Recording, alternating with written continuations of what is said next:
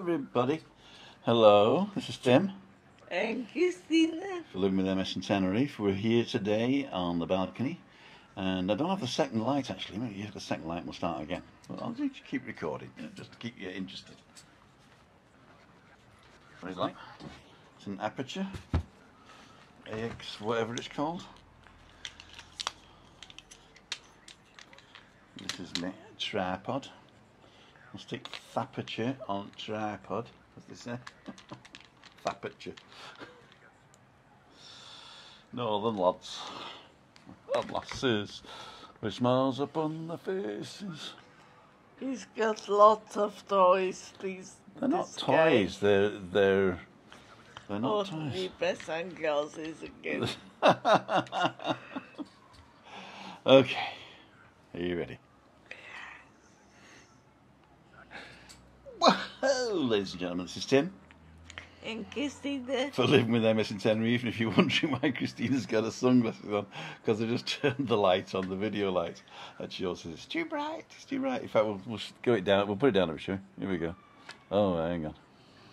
Okay. They need to clean as well. the Sunglasses. They need to clean the sunglasses. Yeah. Okay. Is that better? Something a bit more. Okay. Anyway. So I went on a drive around today and uh, basically, basically, I got a drive around map from Hong Kong Fui, number one super guy. And uh, he tried to get in touch with me through my website, but I think what was happening is was he was putting an, a link to Google Maps in the in the message, and I think my website actually blocks that, but I'm not sure. I'm, I'm going to test it, but I'm not sure. Uh, but anyway, so I ended up uh, contacting him and saying I didn't, or he contacted, contacted me and said, "Oh, "Did you get me emails?" And I said, "Obviously, I didn't." So he contacted me on an, on a, another channel, and I gave him my email address, and he sent it. So um, basically, I've just been to Los Cristianos to interview uh, Andrew Knight, the Knight Strider. You know, the the wingman sidekick from uh, the Macmaster. And I interviewed him for my podcast on Sunday. So uh, we're going to do that on Sunday. And uh, oh, here's the here's a trailer.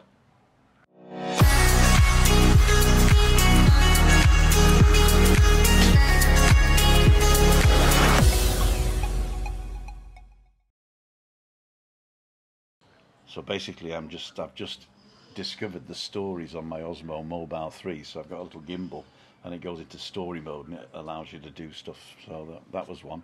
And at the beginning of this uh, video of us, I did one as well. So nothing professional, but uh, we're getting there. So uh, I did the drive around. Uh, the route he gave me, I was coming in from Los Cristianos, so I didn't start where he wanted me to start. I started a bit further up, and um, and I showed a little bit more than he wanted. So, but I actually covered all the stuff that he wanted. But I just decided to show a little bit more. Enjoy.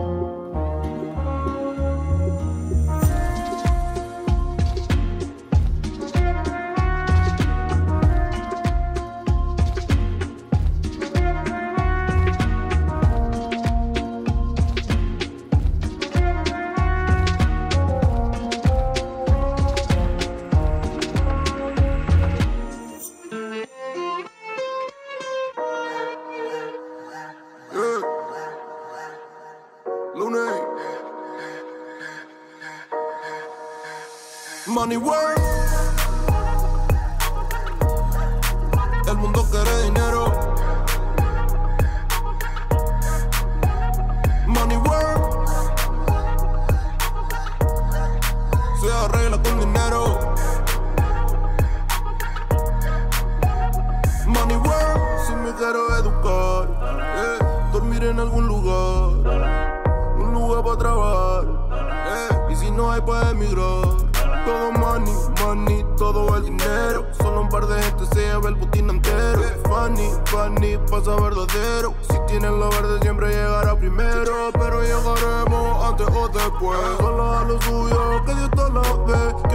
Tarde lo veré caer. Somos más lo bueno y tenemos fe. El dinero ya lo veré. No vendo mi alma, lo lograré. Seré el más grande, no olvidaré. De dónde vengo ni cómo voy. Money work.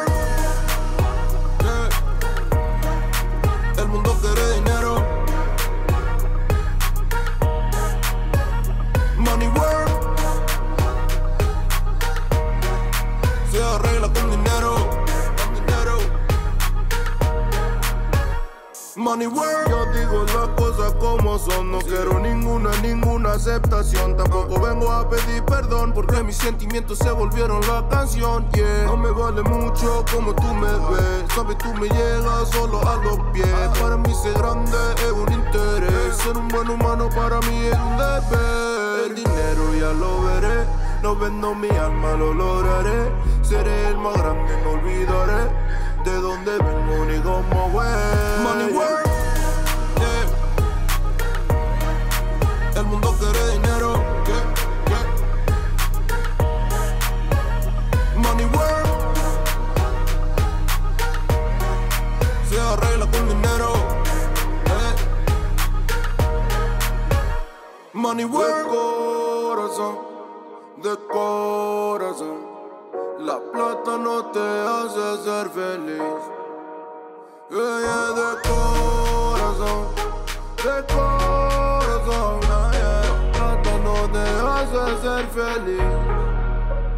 Money work.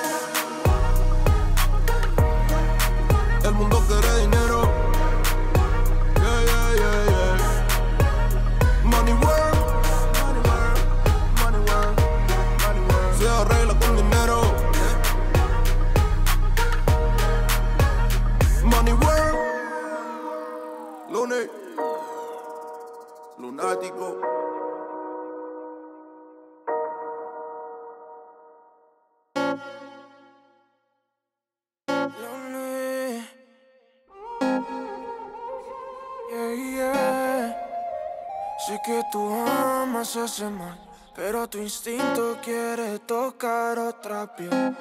No es tu culpa, baby. No es que seas mala, sino que te ha ganado el placer. A las doce me llamas, yeah, y yeah, porque ella quiere placer.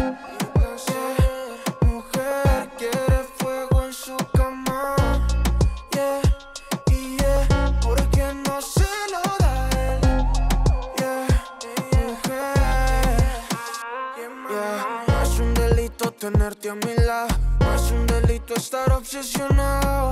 Hay pecados que se merecen, que se repitan muchas veces. Aportar la gana que tenemos no es seguro. Salen porque salen, baby, es inoportuno. Por eso yo procuro que lo hagamos en lo oscuro, baby. No somos no, nada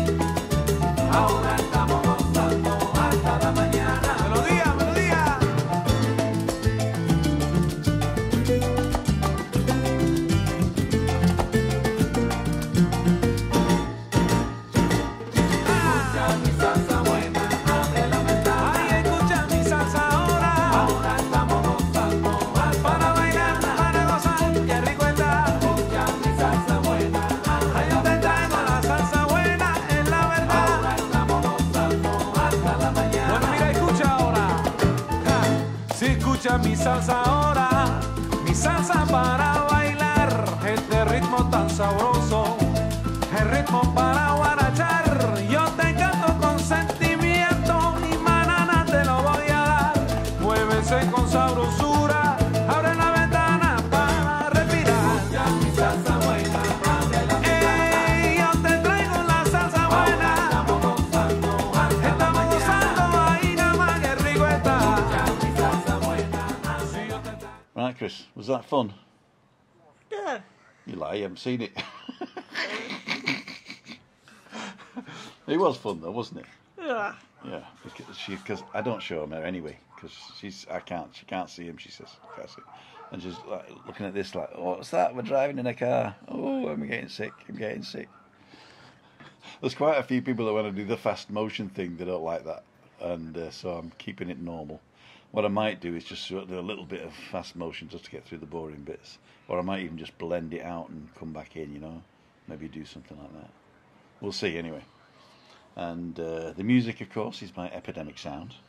I've got an account with Epidemic Sound for royalty free music. And if you want to try it out, there's a link in the description which gives you a free trial. So you can try that. And um, what else we got? Oh, I've, I've been told that I've got to say, please like and subscribe and ring the little bell for notifications for when I upload new videos. But basically, it's just the little like button you need to press. Because what YouTube does is all- the interactions of the like buttons, they sort of say, oh, this is a good um, video, so we'll show it to more people. So it's the number of people watching, I think, you know. If you are subscribed, then thank you very much, and I hope that you do get notified, and I hope you watch the videos. Uh, but it's not just to do with subscribers. The first thousand was because that was important to get to make me be able to do live. And we'll come to that in a minute. I'm going to start doing more lives, but it won't be now till next Wednesday because the kit doesn't arrive. And I want to present quite a professional live stream. And the show is going to be live, but there's going to be bits I'm going to be cutting in, which I've recorded earlier. So I would need to be able to switch between those live.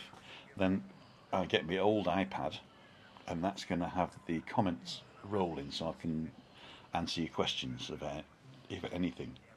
Now on the way back today from this uh, drive around, I actually went past Siam Park and I talked to a guy who wasn't a boss or anything. He was a guy with a walkie-talkie, and I said, "When are you opening?" And he says, "Ah, probably the first of August." He says, "But we won't know till tomorrow." So it, I actually push, you know, from the horse's mouth. Siam Park opening the 1st of August. But this was just a a walkie talkie, and people have been telling me I've got to be careful because it's not official. And I know it's not official, but I think this the message I want to give is that we were looking at October, November, or even not at all this year, not so long ago. So, uh, as long as the coronavirus cases don't dramatically increase on the island, then I should imagine Siam Park which should be opening soon. So fingers crossed, or hold your thumbs if you're a German. I don't know what other people do. What do you What do you do in Norway? What do you do in your country? What's the fingers crossed or hold your thumbs thing? What's for luck? Leave a, a comment down below. And um, yeah, so we're hoping that's going to be all right. I've not heard from Loro Parque, of course, but I think the uh, they might um, they might do some, some sort of double thing. I don't know. But I am talking off the top of my head. Uh, there is nothing confirmed, and I don't want to get people's hopes up. But what I do want to do is to give them hope. You know, I, I know that's sort of contradictory, but you know what I mean. Uh, not all is lost. The biggest problem we've got at the moment, I think, is because we didn't change the law here in Spain, in Canary Islands, to make sure that you got to wear a mask all the time. uh, when you leave the house, but you have to have it with you. Um, there were some things going on uh, down at Veronica's where some of the bars were basically. I, I don't think they were flaunting the law, but I think the people who were visiting them were hard to manage. Let's put it that way.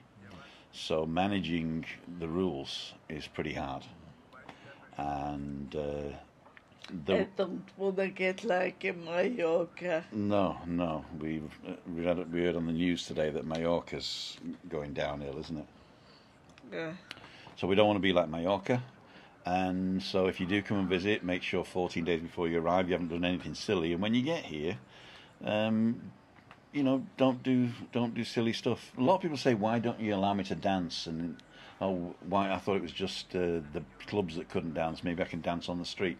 Well, basically, it's uh, sweaty, gyrating, and droplets. So it's not the dancing that's the problem, it's your actions and the possibility that you might be spreading something if you're infected. And because we're not testing you when you get here, um, we don't know whether you're infected or not, you know? And just wait for the vaccine, wait for the whatever. And I know there's conspiracy theories on that as well. But um, just, I don't, I don't know. If you want your holiday, to be all jumping and lovey dovey and meeting new people and hugging and kissing, then probably this time of year is not for you. But if you're coming over and you're a family or you're a couple and you like long walks along the beach, you like stopping in nice restaurants and bars, you like going for a swim in the sea, you like lazing round by the pool, you like, you know, sunning yourselves, going up the Teide or shopping in the shopping mall, then we're open for business, you know. So come ahead, come on. Right. Now, for those of you who've made it this far, uh, comment down below uh, what colour frog you'd like. Okay? So, and then all these people that didn't watch it to the end will uh, be wondering why people are saying, oh, I'd like a blue frog, please. They'll think you're daft, you see, but then you can say, I don't know, oh, I'm not daft. You're daft for not watching to the end. So what colour frog do you want? Not that I'm going to give you a coloured frog or nothing, because they're gifting, aren't they? Poisonous coloured frogs, mm. especially the green ones. Yeah. Oh yeah, green green frogs, or the neon yellow ones. Oh, yeah. Hmm. They're cute. How many of these shirts have I got? Thousands. No, I mean really, how many shirts have I got? At least five. Okay, so just in case, because people start saying, he's got that yellow shirt on again. I bought them for two euros in two tree bowl, special offer a year and a half ago. Yeah? You'll probably tell the difference because some of them are faded more than this. Because uh, I wash them and wear them the next day. So, um, this is Tim Thank you, For living with MS in Tenerife. Signing off. Bye. Bye.